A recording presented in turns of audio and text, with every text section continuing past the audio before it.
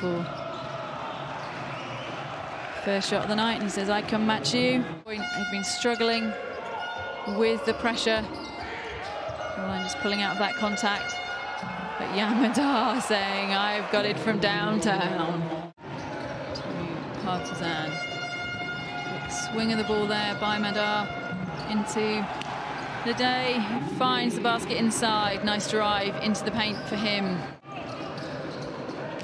There. The three-point line as day works his way inside and finds offensive player. Madar finds a nice little pull-up two-point shot from just above the free throw line there. Trento in ninth place in the standings and nothing they can do about it this evening. As Moore takes the ball, pops it up from a nice little short two, just below the free throw line there to start the second half. Target there. Smailagic finding his target though from the three-point line. Trying to create the two-man game with Jonathan inside.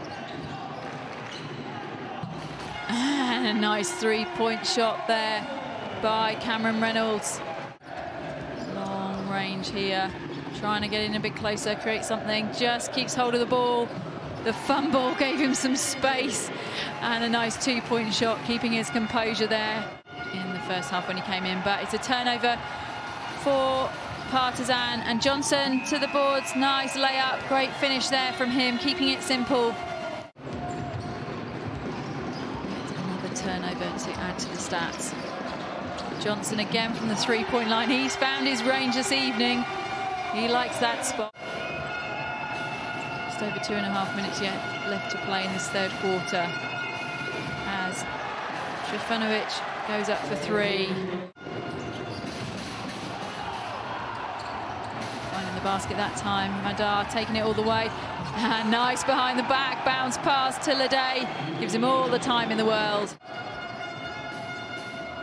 LeDay just not quite, oh, and they get it in on the third time of trying.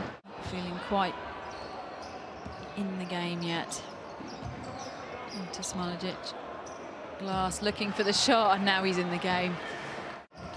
Over their actual performance, but finishing the game. Second in the standings for a reason. You can see the heads of Trento have gone down. The shot clock runs out. Close match here tonight in Trento.